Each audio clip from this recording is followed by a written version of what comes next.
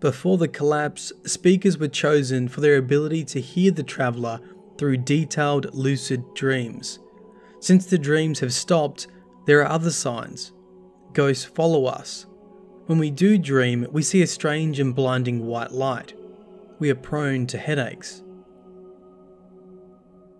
Welcome back, Guardians. With the release of Season of Dawn, we get the origin story of the speaker. Not only do we get the background information about how the speaker came to be, but we also get an explanation of the speaker's mask. This has always been a mysterious object in Destiny and even described as legendary. As a reminder, Destiny A and Z have given me a pair of the official Destiny Moon Boots to give away. Anyone can enter, please see my Saint 14 video for entry details. This is Myelin Games and I hope you enjoy this latest Destiny Lore episode.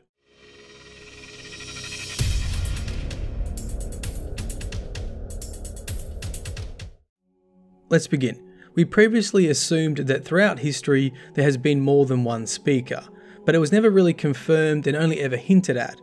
The Destiny 1 Grimoire card, The Speaker, reads There has always been a speaker, an anonymous high priest with a mysterious and powerful connection to the traveller and its ghosts. In all the centuries of the city's history, the speaker's great work has never changed to guide new guardians, heal the traveller, and raise our crippled protector from its slumber. In the new lore released with Season of Dawn, it is confirmed that there were multiple speakers, people who were born with an innate connection with the traveller. These individuals were able to hear the traveller through dreams. The singing lore entry from the lore book Constellations reads Before the collapse, speakers were chosen for their ability to hear the traveller through detailed lucid dreams. Since the dreams have stopped, there are other signs. Ghosts follow us. When we do dream, we see a strange and blinding white light. We are prone to headaches. I believe this also explains another mystery of Destiny, the Dreams of Alpha. The Dreams of Alpha are a collection of Grimoire cards that appear to be written from the perspective of the Traveller. However, I think now that they are written by a speaker who is having these visions of the Traveller through the dreams. In the new lore, one speaker describes how he struggles to keep his mind separate from the Traveller, that their thoughts start to blend together. This speaker witnesses the collapse have a listen to the severing lore entry. It reads I am the speaker who witnesses the end of the world. Through it all, I am overwhelmed by torrents of sharp, static images, sometimes so fast and constant that I can't see or hear. The traveller is babbling, telling me everything and nothing all at once, in fast, stereoscopic waking nightmares. I am myself and not myself. And I, am stuck in a web of black spider silk, frozen in the mind numbing silence of space, have no answers. I try to aid the relief effort, but my thoughts run, become more and more scattered. I can't run, keep separate my own mind, run, and the run, run, run, travellers. You can see how the text was written. It has the thoughts of the traveller spliced into the thoughts of the speaker disrupting the sentence. There are even more interesting speakers mentioned in the new lore. One speaker is the very first person to witness the making of a guardian, the revival of the dead by a ghost into a guardian. It's a really cool scene. Have a listen to the lore entry Waking. It reads I am the first speaker to see a ghost. The ghost leads me to a barn with a sagging roof. She asks me to wait out of sight. She says, I think you'll scare her I don't fully understand what she means.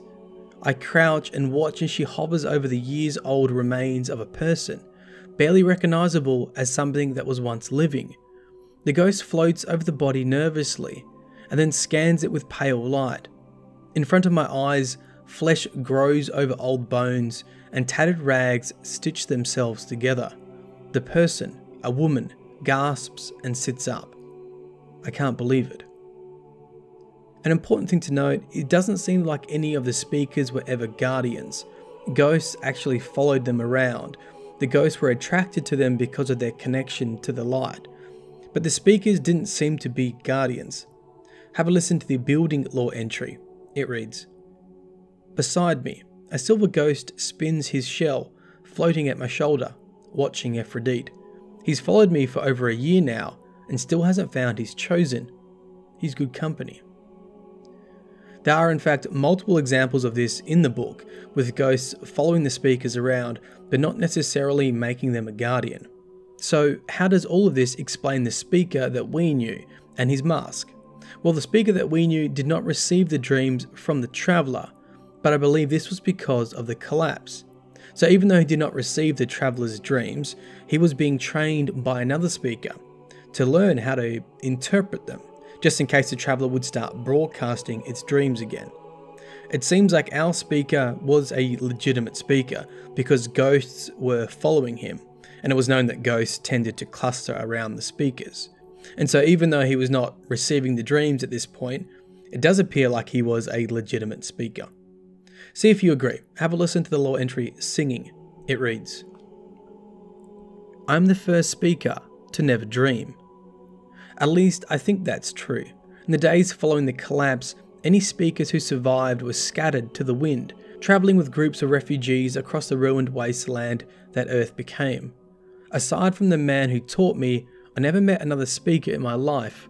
For all I know, I'm the last one alive. Before the collapse, speakers were chosen for their ability to hear the traveller through detailed lucid dreams.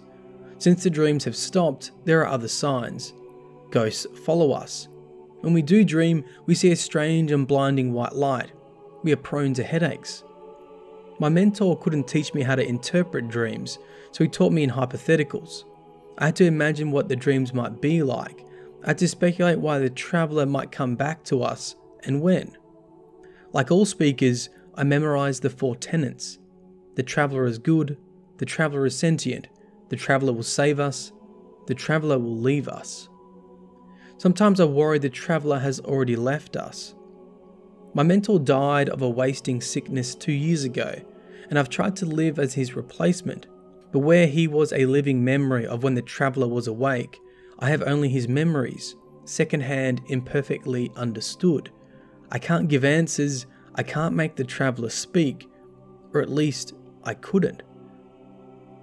So you may see where this is going. The speaker we knew has been trained as a speaker, but has never received the dreams of the traveller, likely because of the collapse. The speaker creates a mask. The mask becomes an amplifier and allows the speaker to hear the traveller. Really cool. Have a listen. I can't make the traveller speak, or at least I couldn't. For weeks, I've worked in secret on a project gathering scrap metal and old, broken things left over from the time before. I've cobbled it together, tinkered with a mix of strange and half understood technology, tried to calibrate it to my needs. A long time ago, long before the collapse, astrophysicists recorded sounds from the planets in our solar system and turned them into music. They translated plasma waves and radio emissions into eerie, musical rumbles, roars, whistles, and hisses. The Traveller makes sounds too. Speakers have listened to its music for many years, in the form of dreams. Carefully, longingly, I build a mask, an amplifier. No one knows about it but me. I won't get their hopes up, even though mine are sky high as I put the finishing touches on it. It's not beautiful like our old technology was, it is scuffed and bent and rusted like everything we own now. But if I'm right, if I can do this, it will do beautiful things. I can't bear to fail. I have failed to everything else so far. When I'm finished, I wear the mask. Pieces of it, not sanded down, are rough and sharp against my face, but I dream for the first time in my life. I've cried out unheard for so long that my voice is raw. Wow, that last sentence is the traveller actually speaking to the speaker for the first time since the collapse. I have cried out unheard for so long that my voice is raw. So there you have it. The speaker never received the dreams of the traveller until he created the mask. The mask acted as an amplifier and allowed him to receive the messages from the traveller. On a side note, I have no idea how the speaker lived for so long if he was not a guardian. I'm hoping to look into that a bit more a little bit later on. But with that, that concludes this latest Destiny 2 lore episode. If you'd like to support the channel and cannot think of a comment, you can leave the word amplifier to represent the speaker's mask acting as an amplifier. As usual, it has been a pleasure This is Myelin Games. Peace.